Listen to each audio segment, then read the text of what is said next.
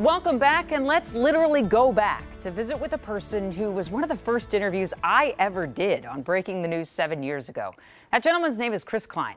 I talked to him way back when because he was blowing up on Instagram for his photos with pets that made them larger than life. And we as humans, just tiny little friends in their shadows in these pictures. Most people, including me, had never seen anything like it. And when I met Chris, rarely had I met someone like him a salt of the earth kind of guy who felt deeply. Well, over the years, his deep feelings caught up to him as they can do to the best of us, and he hit a really low point. point, one he's going to talk about, and his journey back up from there. Here's Samie. You ready? You want to shoot some? Come on, let's go over here. Patience is what it takes Come on. Stay. to tame You ready? peppy paws He knows snaps and whistles. and to take the perfect picture. Chris Cline Juji. says Juji and Jasper takes his patience Good boy. and gives him more presents than he can count. it really just exploded. We didn't have any idea what was about to happen.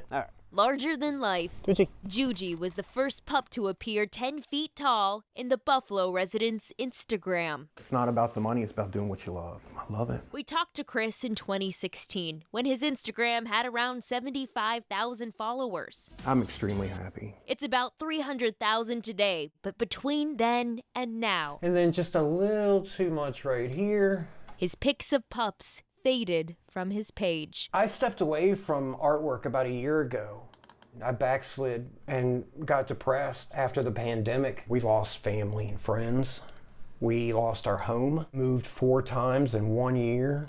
I have addiction struggles and depression struggles. I was an addict for a very long time, and still an addict. And then I relapsed. Chris, his girlfriend Christine, and the dogs moved back to Buffalo, back to his support system, And I can still move him around. back to what he loves to do. And I just really tried to rebuild what I had before, which was just this amazing life. And then I'll play with the lighting and get it right. I'm gonna start editing again and I'm gonna start social media again. Come on. Sometimes I have to come back out to reshoot. He says moving back to Buffalo I have to figure out the angle that he's at. and getting back behind and in front of the camera has healed him. How would my hands be sitting if I'm on a horse?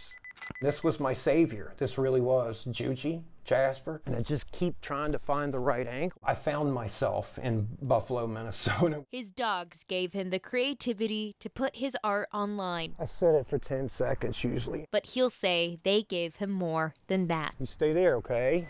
I don't think there is a better therapy than a dog by your side. Samie Solina, KARE 11 News.